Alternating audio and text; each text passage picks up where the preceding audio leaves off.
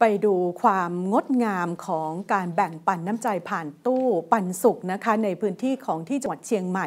MGR ออนไลน์นำเสนอภาพที่น่ารักมากนะคะ เพราะว่าไม่ใช่เพียงแค่มีแต่คนต้องการจะมาเอา แต่เขาก็ต้องการจะให้ก็มีมากมาย เช่นกันที่จังหวัดเชียงใหม่นะคะ เป็นภาพความน่ารักของคนเชียงใหม่นะคะ ที่เขามีน้ำใจไหลมาอย่างต่อเนื่องนะคะ ถึงขั้นว่าเขาเข้าคิว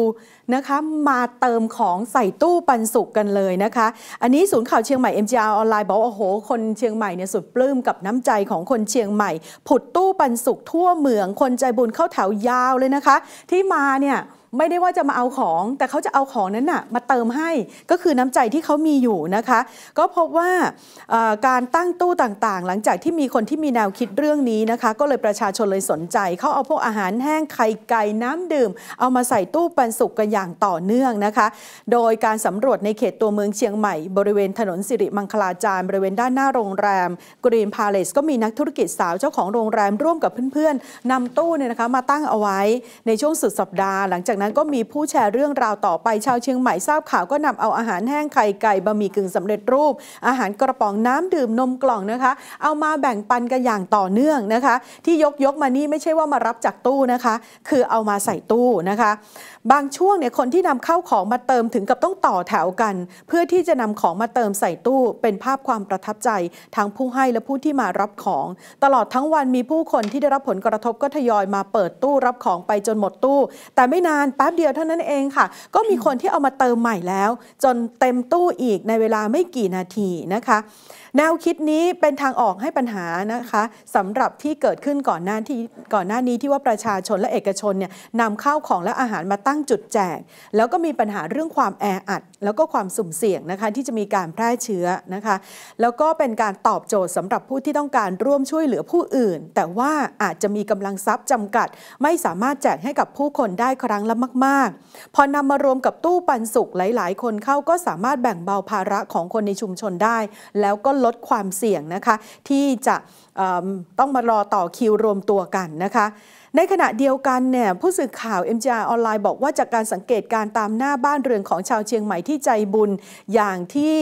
บ้านถนนห้วยแก้วนะคะ ในตัวเมืองเชียงใหม่ก็พบว่าหลายบ้านก็มีการนำชั้นเล็กๆ คือไม่ต้องเป็นตู้ก็ได้นะคะนำชั้นเล็กๆเนี่ยนะคะมาตั้งเป็นตู้แบ่งปันให้กับผู้ที่ผ่านไปมา ซึ่งก็ได้รับความสนใจ ทั้งผู้ให้และผู้รับมีการนำเข้าของมาเติมให้ตลอดทั้งวันด้วย แม้บางจังหวัดที่มีประเด็นดราม่านะคะ เกี่ยวกับตู้ปันสุกจากการที่ผู้คนบางคนอาจจะแสดงพฤติกรรมไม่เหมาะสมในการหยิบเข้าของไปจำนวนมากเกินพอดี แต่ของเชียงใหม่ แม้จะมีการพบพฤติกรรมดังกล่าวบ้าง แต่ก็เป็นเพียงส่วนน้อย ผู้ให้ก็ใช้วิธีเติมข้าวของใส่ตู้ในปริมาณที่พอดี แล้วเขียนป้ายไว้ด้วย บอกว่าให้ร่วมแบ่งปันน้ำใจและให้หยิบแต่พอดี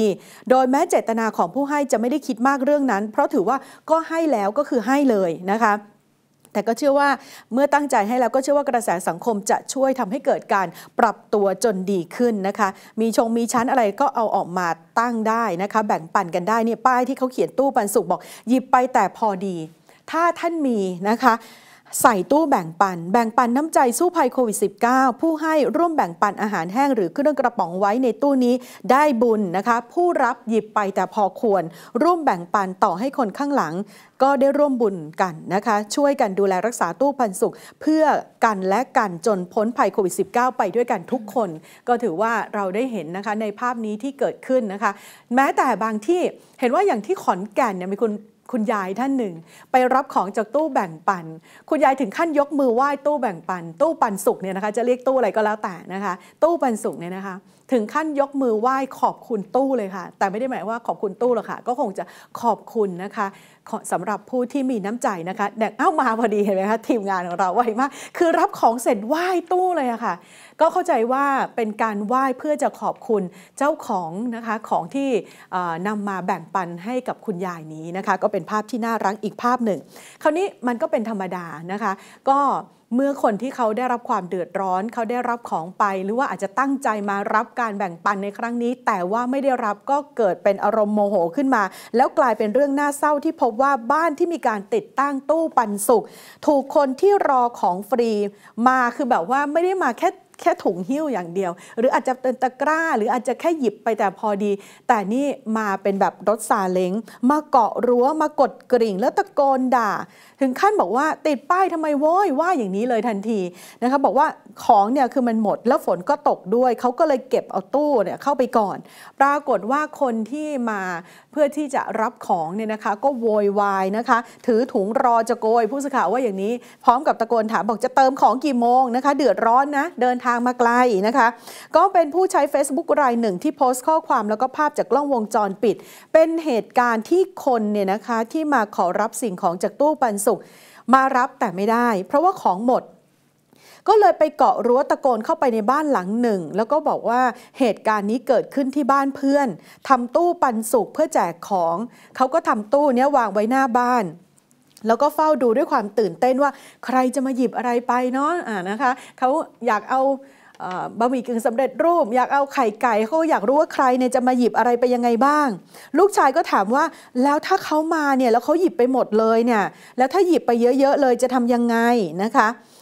ผู้เป็นพ่อแม่ก็บอกว่า ก็ตั้งใจจะให้แล้วก็เป็นเรื่องของเขาที่เขาจะหยิบไปนะคะ ก็ช่างเขาเราไม่ขาดเราตั้งใจให้คนที่มาหยิบส่วนใหญ่หยิบแต่พอดีไม่ถึงกับกอบโกยค่ะ แล้วบางคนมีการเขียนขอบคุณแค่เพียงคำขอบคุณที่เขียนให้ก็ชื่นใจแล้วนะคะ คราวนี้ปรากฏว่าวันเกิดเหตุเนี่ยมันมีฝนตกลงมาอย่างหนัก สิ่งของในตู้ปันสุกก็หมดค่ะ ก็เลยแทนที่จะปล่อยตู้ตากฝนเขาก็ต้องยกตู้เก็บสิคะยกตู้หลบเข้าบ้านไปก่อน แต่ป้ายเนี่ยมันยังแขวนอยู่ เป็นการบอกให้รู้ว่าบ้านนี้มีตู้ปันสุกในระหว่างนั้นก็เลยออกไปทำธุระนอกบ้านกะว่ากลับมาบ้านแล้วเนี่ย เดี๋ยวจะยกตู้ไป แล้วจะเอาของใส่เข้าไปเติมเข้าไปใหม่ ปรากฏโอ้โห แม่บ้านโทรมาบอกนะคะว่า มีคนมาวนเวียนซะหลายรอบเลย แล้วก็ถือถุงในกลางรอเลยนะคะ เห็นภาพเลยใช่ไหมคะ คือรอเลยว่ากลางถุงแล้วมีของปุ๊บเอาหย่อนใส่ถุงไปเลยนะคะ แล้วมาถามบอกว่าจะเติมของกี่โมงทั้งๆทที่ไม่มีตู้อยู่ตรงนั้น มาคือแบบว่านั่งซาเล้งอะค่ะ คงจะแบบว่าบ้านใกล้กันขนมาพร้อมกันเลยนะคะ มากันที 7-8 คน ก็มีคนที่ทนไม่ไหวมากดกริ่งเรียกอยู่หลายครั้ง จนแม่บ้านเนี่ยต้องโทรมาบอกเรา แล้วก็เลยบอกไปว่าเก็บตู้เพราะว่าฝนตกแล้วของมันก็หมดด้วย เดี๋ยวเจ้าของบ้านเขามาใหม่เนี่ยเขากลับมาเนี่ยเดี๋ยวเขาจะมาตั้งใหม่ ปรากฏว่ามีคนไม่ยอมกลับปักหลักรอนะคะ นั่งรออยู่หน้าบ้านเลยทางเจ้าของบ้านก็เลยบอกกับแม่บ้านบอกให้ไปเก็บป้ายลงก่อนแล้วกันนะคะ แม่บ้านโดนคนตะโกนด่า นะคะว่าแล้วจะติดป้ายทำไมนะคะก็คือพูดไม่ไพเราะเลย ตะโกนเข้ามาอีกนะคะ บอกว่ามาถึงแล้วของก็ไม่ได้นะคะ ก็บอกว่าเดือดร้อนนะมาแต่ไกล มีคนแก่มีคนพิการนั่งมาในซาเล้งด้วย ที่เกาะรั้วแล้วก็ตะโกนนะคะ เจ้าของบ้านก็เลยบอกว่าโอ้แบบนี้เนี่ยไม่น่ารักเลยมายืนตะโกนหน้าบ้านน่ากลัวหรือเปล่านึกไม่นะคะนอกอย่างไรก็ตามเจ้าของโพสต์ก็บอกว่าการจัดทำตู้ปันสุกเนี่ยเป็นแนวคิดที่ดี ตอนที่เพื่อนทำนะคะด้วยความใจบุญ ก็เลยอาจจะลืมคิดรอบคอบ ใครที่จะทำต่อก็วางแผนหาสถานที่การจัดการไว้หน่อยก็ดีนะคะ ก็เลยฝากไปบอกถึงผู้ใจบุญท่านอื่นที่จะทำตู้ปันสุกแบบนี้นะคะ แต่แบบนี้มันก็เกินไปจริง ๆนะคะ มีคุณผู้ชมแสดงความคิดความเห็นเกี่ยวกับเรื่องของตู้ปันสุขเข้ามามากมายเลยนะคะ อย่างเช่น ครูหญิงท่านครบอกว่าต้องทำใจตั้งแต่ตัดสินใจตั้งตู้แล้วนะคะ เพราะว่าคนเนี่ยมีหลากหลายประเภท ทั้งนี้ทั้งคนดีแล้วก็คนชั่วมีจิตสำนึก แล้วก็ไร้จิตสำนึก คุณอนุพงศ์บอกว่าสละแล้วก็ต้องปล่อยวางของทุกอย่างสังคมให้เพื่อส่วนรวมนะคะ ขณะที่ครูหญิงก็เสริมบอกว่าบางคลิปเนี่ยมีคนขับรถเก๋งมาเอาของไป อย่างนั้นเนี่ยยิ่งแย่มากๆนะคะ เป็นเรื่องที่น่าละอายจริง ๆนะคะ แล้วก็คุณอุไรบอกว่าไม่ต้องเอามาให้หรอกค่ะไม่ตายหรอก เคยตัวนะคะ บอกว่าคนที่มีพฤติกรรมแบบนี้ ขณะที่พี่ป้อมบอกว่าคงเห็นแก่ตัวแบบนี้คงไม่ได้มีแต่ประเทศไทยมั้งคะคุณวัสนาบอกว่าหยุดทำเถอะทำที่ประเทศไทยไม่ได้คนเห็นแก่ตัวเยอะนะคะ แล้วก็คุณอุไรบอกว่าไม่เห็นด้วยขอให้ยกเลิกนะคะ คุณธรรมนูญบอกว่า คนให้เนี่ยเขาทำใจอยู่แล้วครับ แต่ว่าคนรับเนี่ยก็ต้องรู้จักละอาย รู้จักเผื่อแผ่มีจิตสำนึกบ้างสิครับ เข้าใจว่ายังมีความเป็นคนอยู่ ครูหญิงบอกว่าภาพแบ่งปันเนี่ยสุขใจนะคะ จากเชียงใหม่งดงาม แล้วก็น่ารักคุณนิตยาบอกว่าคนเชียงใหม่เป็นคนใจดีแต้ๆเจ้า ชอบทำบุญจิตใจดีมากๆ บุญรักษาพระคุ้มครองนะคะ คุณไมจิโกบอกว่าตั้งตู้เนี่ยควรตั้งใกล้กล้องวงจรปิด หรือว่าชี้ลูกศรไปกล้องดูอยู่แบบเนี้ยคนที่จะหยิบเยอะๆ คงจะฉุกคิดบ้างโอ้จริง ๆ อันนี้ถ้ารอกล้องไม่ไหวนะคะ ต้องมีจิตสำนึกแล้วก็บอกว่าคุณนิตยาบอกว่ามีอะไรก็แบ่งปันกันนะคะ